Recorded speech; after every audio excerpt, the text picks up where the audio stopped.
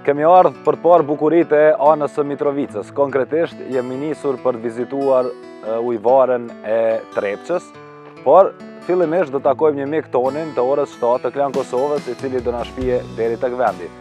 Vetë rruga deri atje është një avanturë të cilën mund ta përjetoni mjaft bukur. Mirëdita, Gëzim. Mirë se të gjetëm. Faleminderit që na prite. Si je? A je mirë? A të vazhdojmë të shohim pak bukuritë? Po, po.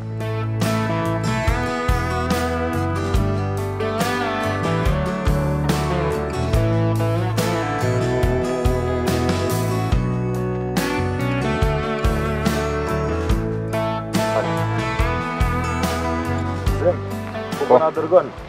Po tani jemi duke u ngjitë te ujëvara e Trepçës, është shumë afër rrugës kryesore e cila dërgon nga Mitrovica në Bajgorë, do të thotë nga rruga kryesore janë afërsisht 100 metra, është vend ideal qoftë për piknik, qoftë për vizita familjare dhe sidomos Këtë kohë është mjaft freskues.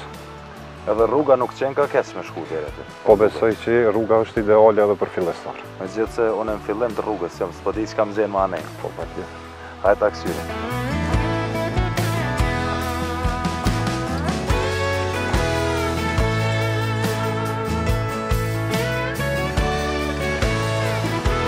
Gëzim, erdhëm te kjo bukuri, te kjo ujëvarë.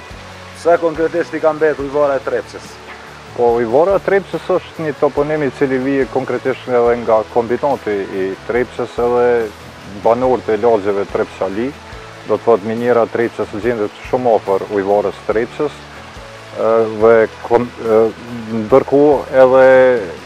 Muzeu i Kristaleve ndodhet në këtë rajon, kështu që edhe emërtimi daton është i lashtë.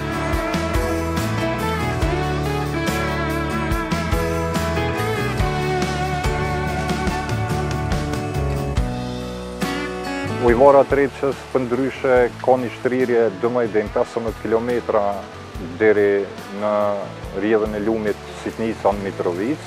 Ndërsa burimi i saj vjen nga fshati Vidishiq, është një fshat malor i Shalës së Bajgorës, edhe ka një lartësi malore një mijë e njëqind deri një mijë e dyqind metra lartësi mbidetare.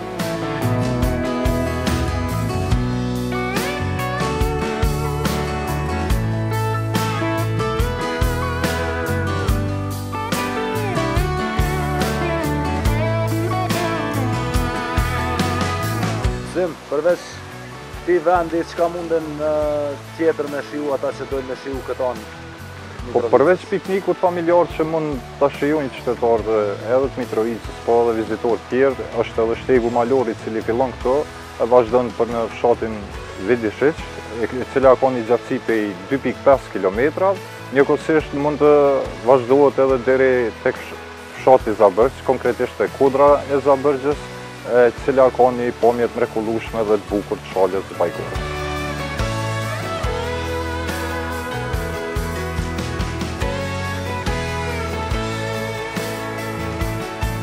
Po zona e Shalës njihet edhe për natyrën e bukur, do të thotë po edhe për burimet ujore, normal që edhe në zonën Ku jemi ne është edhe fshatrat përreth si Barja, pastaj nëse shkojmë do të thotë edhe një zonë ma të zgjerume, kemi edhe burimi i Bistricës, pastaj lumi i Selacit, ujëvara e Kaçanollës, të gjitha këto janë pjesë e bukur e Shalës së Bajgorës.